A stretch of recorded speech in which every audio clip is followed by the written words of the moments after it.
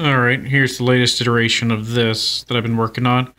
Uh, as we see, we've changed out the LED, so now it's uh, RGB LEDs, so it actually has uh, four different spots. So there's going to be uh, one positive, shared positive coming in, and three negatives on here, and that's just uh, you know full color LED which has, as you can see, depending on the color, it has different current and also different mag uh, volt requirements, all of which are above the GPIO 16 milliamp problem. So we kind of had to come up with a different solution on this one.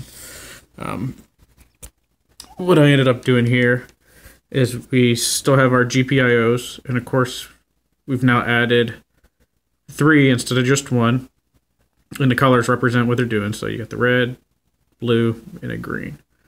Um, but you follow over here, and each one of then connects up to uh, a different set of resistors, and those were just try to get them correct since I didn't have the perfect ones.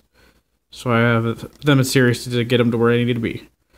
Uh, from there, the GPIO pin each goes to uh, a transistor the base of a transistor. So you see three transistors back there. And so the middle pin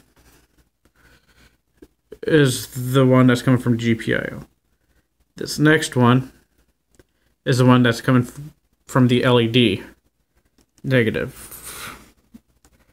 And then we got the last one, which is then completing the circuit at the negative. And so what we have going on is when the GPIO pin uh, goes positive, it's then closing the circuit on a transistor right here, which then is allowing the LEDs to feed off of our 5 volts that's coming off the VCC.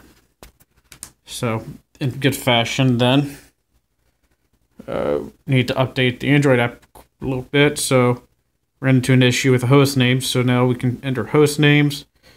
But then we also have three different colors. So you have your red on, blue on, green on, off, off, off.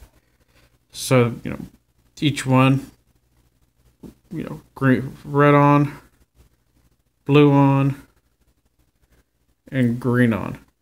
Now, a nice thing also is that you can have multiple ones on. So you, you have red, and green, which now is giving you yellow. Add blue, white. We can start getting purple colors in here, cyan, and then be able to turn them off. And all that essentially is just being done again with the updated REST service. So